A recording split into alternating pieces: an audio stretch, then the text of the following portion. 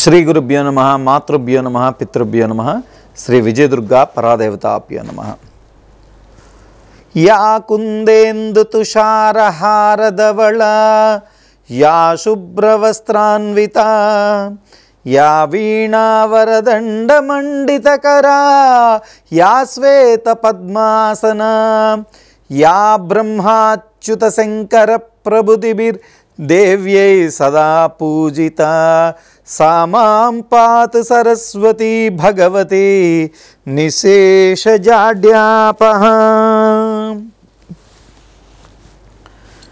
పరమ పవిత్రమైనటువంటిది అత్యంత విశేషమైనటువంటిది ఈ క్రోధీనామ సంవత్సరంలో అత్యంత మహిమాన్వితమైనటువంటి ఈ ఆశ్వీయుజ మాసంలో సప్తమి తిథి.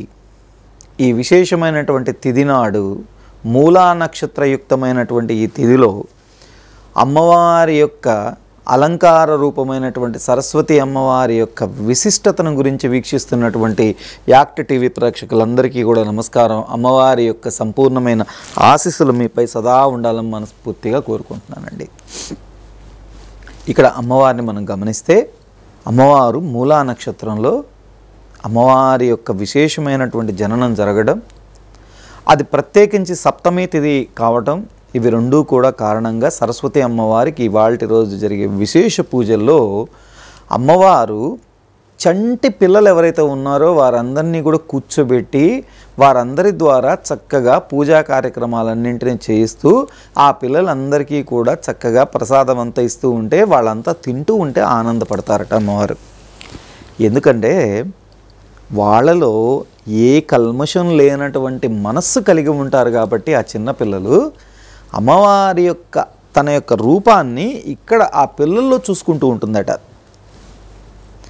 అందుకే తనని పిల్లలు వశం చేసుకున్నారు.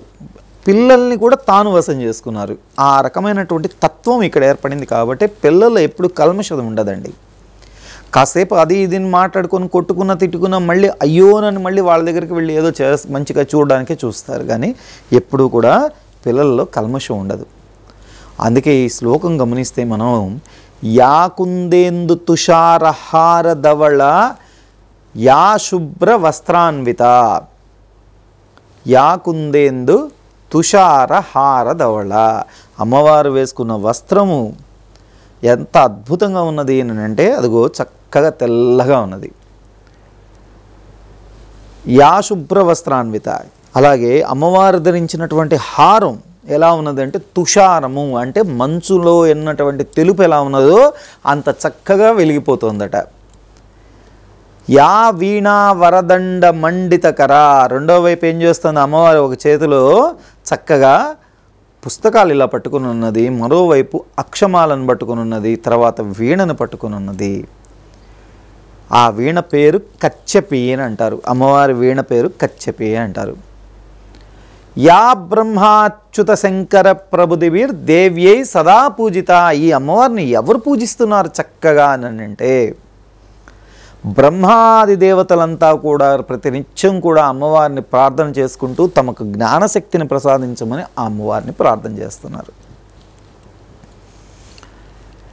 కాబట్టి అమ్మవారిని ఇంత విశేషంగా ప్రార్థన చేయటం ద్వారా తమకు కావలసినటువంటి అనుగ్రహాన్ని ప్రసాదించమని ఆ యొక్క దేవతలతో పాటు లోకంలో ఉండే సమస్తం కూడా ప్రార్థిస్తున్న కారణం చేత కల్మషం లేనటువంటి వస్త్రాన్ని ధరించి కల్మషం లేనటువంటి ఆ కలువ పువ్వు ఏదైతే ఉన్నదో దానిపైన కూర్చుని అమ్మవారు సామాం పాతు సరస్వతి భగవతి నిశేష జాడ్యాపహ ఈ కల్మషం లేనటువంటి ఆలోచనలు ఏవైతే ఉన్నాయో అవి నా పైన ప్రభావితం చేయబడి ఎలా నువ్వు కలువ పూల పైన కూర్చుని తెల్లటి కలువ పూల పైన కూర్చుని తెల్లటి వస్త్రం వేసుకుని చక్కటి తెల్లటి హారంతో రత్నాలంతా తెల్లటి రత్నాలతో బాగా వెలిగిపోతున్నటువంటి కిరీటము అమ్మవారి యొక్క జపమాల పుస్తకము వీణ ఆ కచ్చపి అనబడేటటువంటి వీణ ఇన్నింటి మధ్యన కూర్చొని అమ్మవారు. ఆ యొక్క జాడ్యాలు ఏవైతే మనిషి లోపల ఉన్నాయో దాన్నంతా కూడా పోగొట్టడానికి సిద్ధపడినటువంటి తల్లిని ప్రార్థన చేసి నా జాడ్యాన్నంతా కూడా పోగొట్టవమ్మా అని గట్టిగా ప్రార్థన చేస్తూ ఆవిడ్ని కోరారండి. అలా సాధకుడు కోరిన కోరిక కారణం చేత ఇవాళ రోజు సరస్వతి అమ్మవారిగా అమ్మవారు అనుగ్రహింపబడితే సాధనం ముందుకు పెడుతోంది మనం అమ్మ ఎంత స్థితి ఎంత గొప్పగా ఉంటుందంటే ఇక్కడ కూడా చూడండి ఇచ్చిపుచ్చుకునేటటువంటి ఒక మనస్తత్వాన్ని అమ్మవారు ఏ విధంగా చెప్పారు అని అంటే నీ కర్మ నువ్వు ఎలాగైతే నీ యొక్క జీవన విధానంలో నీ కర్మ ఎలాగైతే ఉంటుందో దాన్ని బట్టే భగవంతుడిచ్చే ఫలితం కూడా ఉంటుందని చెప్పడానికి ఒక ఉదాహరణ పోతనామాత్యుల వారు చాలా అద్భుతంగా భాగవతాన్ని రాశారండి. ఆ భాగవతం ఇంత అద్భుతంగా రాసిన తర్వాత ఒకానొక సందర్భంలో శ్రీనాథ కవి సార్వభౌముల వారు వారికి భావభావమర్దులు ఇద్దరూ కూడా ఒకానొక సందర్భంలో ఈ శ్రీనాథ కవి సార్వభౌముడు చక్కగా ఆయన పోతన దగ్గరికి వెళ్ళాలనే ప్రయత్నంలో వెళుతూ ఉన్నాడు. విషయం తెలిసింది ఇంట్లో చూస్తే ఏమీ లేవు. రామచంద్రుల వారి దిక్కు తప్పిస్తే నాకెవరు లేదని ప్రార్థన చేసుకుంటూ సరస్వతి అమ్మని వేడుకున్నాడు. అమ్మా విద్య తప్పిస్తే నా జీవితం ఇక ఏమీ లేదమ్మా. ఈ విద్యను నీ ద్వారా నాకు సంప్రాప్తమైంది. మరి కావలసిన ఆ యొక్క సమృద్ధిని కూడా నువ్వే ప్రసాదించవమ్మా అని గట్టిగా ప్రార్థన చేస్తే శ్రీనాథ కవి సార్వభౌముడు ఇంటికి వచ్చి కాళ్ళు కడుక్కుని వచ్చి కూర్చుని భోజనం చేసే సమయానికి తను ఒక్కడే రాడు కదా. తను పెద్ద స్థానంలో ఉన్నాడు కాబట్టి ఒక రాజుగారి దగ్గర ఆయన చక్కగా ఆ రాజ్యంలో ఉండేటటువంటి రాజుగారి దగ్గర ఒక మంచి స్థానంలో ఉన్నాడు. ఆ ఆస్థాన కవిగా ఉన్నాడు. మరి అంత మంది మార్బలం ఉన్నారు. వీళ్ళంతా వచ్చి కూర్చున్నారు. కూర్చున్న సమయానికి వారికి లోటు లేకుండా సమృద్ధిగా ఆహారాన్ని షడ్రశోపేతమైనటువంటి ఆహారాన్ని అమ్మవారు ప్రసాదించారట. ఆ సమయంలో శ్రీనాథ కవి సార్వభౌముడు రాజుగారు చెప్పినటువంటి ఒక విషయాన్ని రాజు పోతనామాచ్యుల వారు తెలియ ముందు తెలియజేస్తూ పోతనామాచ్యుల వారు రాసినటువంటి భాగవతాన్ని ఆ రాజుగారికి దాన్ని పూర్తిగా ఆ స్వామివారికి రామచంద్రుల వారి ద్వారా సంప్రాప్తమైనటువంటి దాన్ని రాజుగారికి అంకితం చేయమని అడిగారండి. అంకితం చేయమంటంగానే సందిగ్ధంలో పడ్డాడు పౌతనామాచ్యులు. కాదు అంటే ఒక బాధ అవునంటే ఒక బాధ. ఏం చేయాలి? ఉన్నాడు నా తండ్రి రామచంద్రులు ఆయన చూసుకుంటాడు అని ఒక పక్క ఉన్న మనసులు బాగా ఇబ్బంది పడుతూ ఉంటే సాక్షాత్ సరస్వతి అమ్మవారు స్వయంగా అక్కడికి విచ్చేసి నాయనా నన్ను అమ్ముకుంటావా? అని అడిగితే తట్టుకోలేక అమ్మవారి దగ్గర నేను ఆ పనిని చెయ్యనమ్మా అని అన్నాడు ఆయన. నేను ఆ పనిని చెయ్యనమ్మా అని చెప్పాడు. అని చెప్పి ఆ భాగవతాన్ని రాజుగారికి ఇవ్వడానికి ఏమాత్రం కూడా వెనకంజ వేయకుండా ఎక్కడ అది సాము రాముల వారికి అంకితం చేశాడు. అలా అంకితం చేసిన ఒక కారణం చేత రాజుగారు పెట్టవలసినటువంటి ఇబ్బందులన్నింటినీ కూడా పోతనామాచ్యుల వారిని ఎక్కడా అది ప్రభావితం చెయ్యని విధంగా అమ్మవారే స్వయంగా కాపాడుకున్నారు.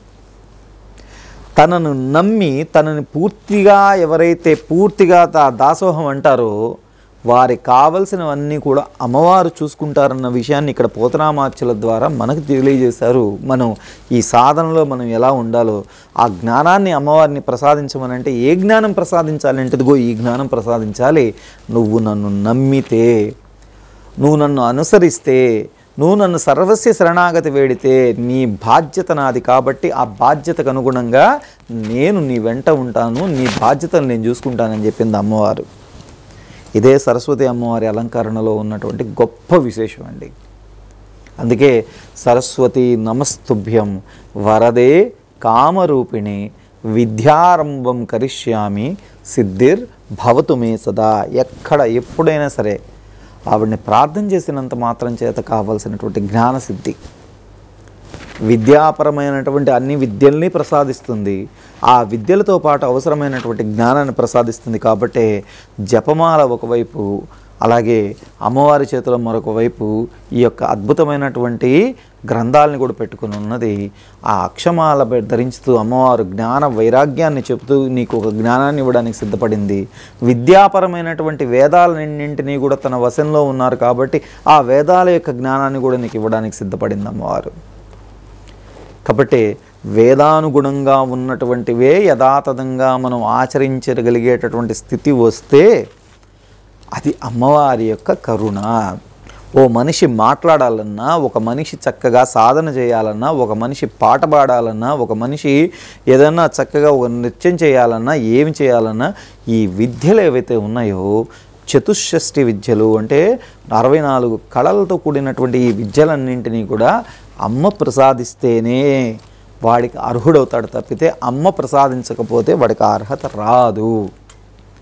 ఆ అర్హతను వారికి ప్రసాదించడం ద్వారా అమ్మవారు సంపూర్ణమైనటువంటి కరుణా కటాక్ష వీక్షణాలని వారిపై ప్రసారింపజేసి వారి మనస్సులో ఎక్కడా కూడా కల్మషం లేనటువంటి స్థాయికి తీసుకువెళతారు. అలాంటి ఆ కల్మషం లేనటువంటి స్థితి వచ్చింది అని అంటే వారిని ఏమంటారంటే వీడిది చిన్న బిడ్డ మనసురా అని అంటాం. మళ్ళీ మనం మొదటగా మేము మొదట చెప్పినప్పుడు గమనించండి. అమ్మవారు పసిబిడ్డలకి దాసోహమైనట్టుగా ఈ సాధకుడు కూడా కల్మషం లేనటువంటి మనస్సు కలిగి ఉండేలాగా సాధనని పరిపక్వం చేసుకుంటే అమ్మవారు తన భక్తికి దాసోహం అవుతారు అమ్మవారి యొక్క అనుగ్రహం కారణం చేత లోటు లేనటువంటి జీవితంలో ఉన్నత స్థాయికి వెళతారండి. కాబట్టి సరస్వతి అమ్మవారు చాలా అద్భుతమైనటువంటి శక్తి స్వరూపం ఆవిడ. కాకుండా అమ్మవారు ఇంకొక విషయాన్ని చెప్తే మనకేమంటుందంటే మంచి చెడుల యొక్క ప్రవర్తనలో మంచిని విభజించి చెడుని పక్కకు తొలగించి మంచిని మాత్రమే స్వీకరించేటటువంటి గుణాన్ని కలిగి ఉండమని ఆశీర్వదిస్తున్నారు. అలా ఆశీర్వదించడమే కాకుండా తన వాహనమైనటువంటి హంస ద్వారా దాన్ని రుజువు చేస్తున్నారు అమ్మవారు. ఎలా సాధ్యమవుతుంది అంటే పాలు నీళ్ళు కలిగినటువంటి పదార్థమును పాలలో నీళ్ళు పోసేసి అది తీసుకువెళ్ళి హంస ముందు ఉంచితే అందులో ఉండేటటువంటి పాలను మాత్రమే తీసుకుని నీటినంతా వదిలేస్తుందండి. హంసకు ఉన్నటువంటి గొప్పతనం అది. కాబట్టి ఈ హంస ద్వారా మనకు అమ్మవారు తెలియచేస్తున్నటువంటి విషయం ఏమిటి అంటే నాయన మనుషుల్లో చెడు ఉంటుంది మంచి ఉంటుంది విమర్శ ఉంటాయి పొగడ్తలు ఉంటాయి. దైవికం ఎంత ఉంటుందో రాక్షసత్వం అంతే ఉంటుంది. కాబట్టి సాత్వికమైనటువంటి దైవికాన్ని మంచిని మాత్రమే స్వీకరిస్తూ మిగతా వాటినన్నింటినీ పక్కన పెట్టావా? ఇదిగో నువ్వు సంపూర్ణంగా నా భక్తుడు అయిపోయావు. ఇక రేపటి నుంచి నీ బాధ్యత అంతా నాదే. ఇది అద్భుతమైనటువంటి సాధనకు కావలసినటువంటి పరిపక్వత ఇక్కడ అమ్మవారు ఇచ్చారండి. కాబట్టి మనిషికి ఎప్పుడూ కూడా బుద్ధి అనేటటువంటిది చాలా ప్రధానమైనటువంటిది. తాను చేసేటటువంటి ప్రతి పని వెనకాల ఎప్పుడూ కూడా మనిషి తాను నడుస్తున్నప్పుడు తనకు సరైనటువంటి దారి గనక దొరక్కపోతే ఎటువంటి దారిలో కావాలంటే అట్లా ప్రయాణం చేశాడంటే అన్ని విధాలా నష్టపోతాడు కాబట్టి ఆ దారిని సభ్యతని సవ్యంగా ఇవ్వగలిగినటువంటి తల్లి సరస్వతి అమ్మవారు. కాబట్టి మనిషికి బాగా ఎప్పుడు గమనించండి మీరు కోపం తీవ్రమైనప్పుడు మనిషి యొక్క ఆలోచన పరిస్థితి తీవ్రమైనప్పుడు వీటన్నిటి కారణంగా ఏమైపోతాడు అని అంటే బుద్ధి పనిచేయదు అంటే బుద్ధి పని చేయాలి అని అంటే వాళ్ళు ఉండేటటువంటి రాక్షసత్వం క్రూరత్వం అంతా కూడా నశించాలి. అలా నశించినప్పుడు ఏమవుతాడు అని అంటే మనిషి సాధనలో ఉన్నతమైనటువంటి స్థాయికి ఎదిగిపోతాడండి. అలా ఉన్నతమైనటువంటి ఆ స్థాయికి ఎదగడానికి కావలసినటువంటి ఆ అర్హతని అమ్మవారి ఇలా రూపంలో ప్రసాదిస్తే కల్ముషం లేనటువంటి ఆ హృదయాన్ని కలిగినటువంటి వ్యక్తికి సాధనలో మరొక స్థాయి ముందు మెట్టుకు ముందుకు వెళ్ళగడం ద్వారా తాను అనుకున్నటువంటి ప్రతి ఒక్కటి కూడా సంపూర్ణంగా పూర్తిగా పొందేటటువంటి స్థితికి వెళ్ళిపోతాడండి. కొల్హాపూర్ క్షేత్రంలో లక్ష్మీ అమ్మవారు ఎలాగైతే స్థిరమయ్యారో అలాగే కొల్లూరు క్షేత్రంలో ఉన్నటువంటి మూకాంబిక అమ్మవారు పూర్వభాగంలో కుడిచాద్రి అనేటటువంటి ప్రదేశంలో ఈ సరస్వతి అమ్మవారి రూపంగా చెప్పబడుతున్నటువంటి ఆ తల్లి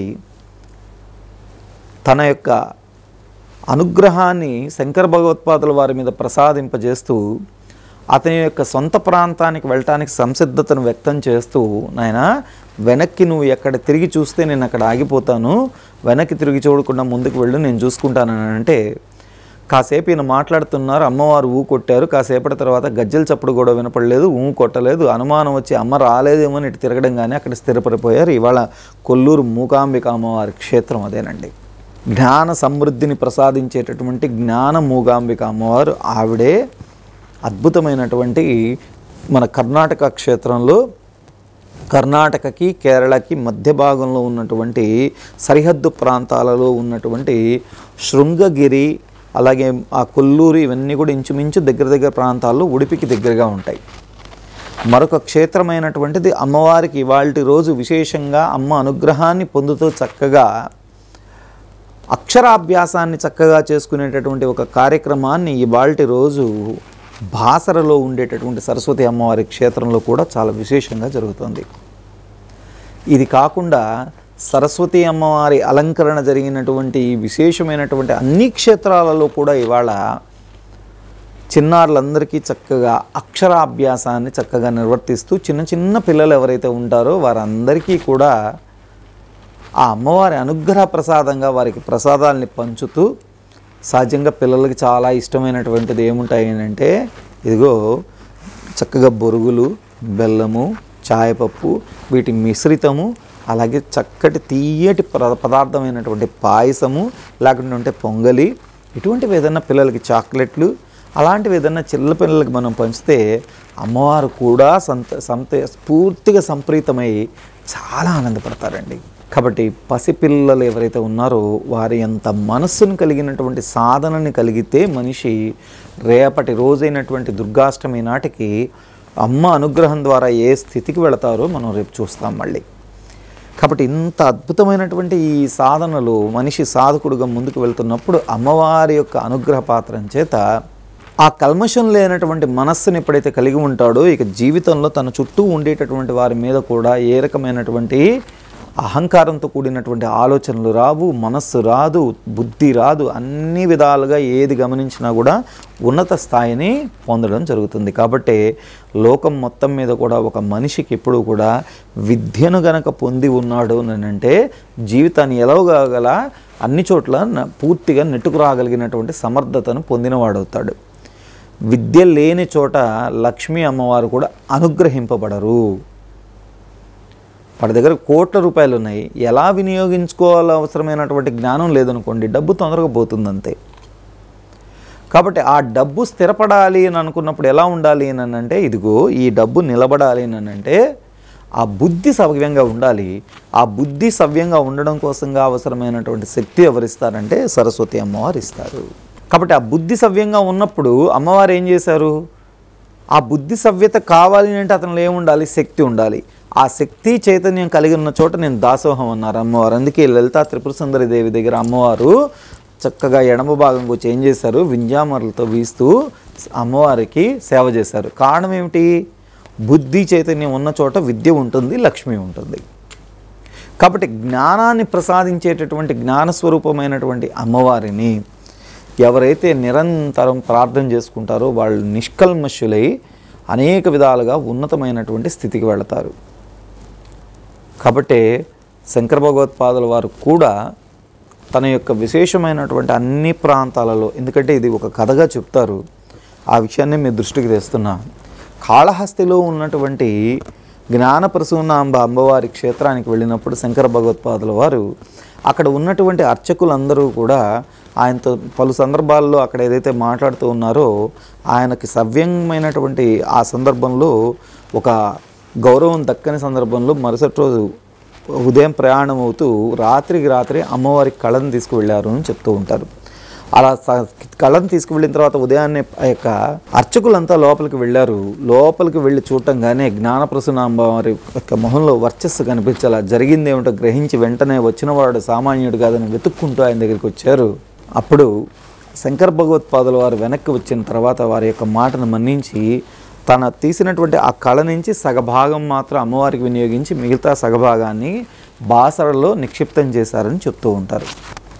కాబట్టి రెండు చోట్ల జ్ఞానాన్ని ఇవ్వగలిగినటువంటి తల్లి కాబట్టి కాళహస్తిలో కూడా అమ్మవారిని కనుక ప్రార్థన చేస్తే మనకు కావలసినటువంటి జ్ఞాన శక్తిని అమ్మవారు సంపూర్ణంగా ప్రసాదిస్తారు. ఆ జ్ఞాన శక్తి యొక్క అనుగ్రహం మన పైన ఇప్పుడు వర్షితమవుతుందో జీవితంలో లోటు లేనటువంటి ఉన్నతమైనటువంటి స్థితికి మనం వెళ్ళటం జరుగుతుంది.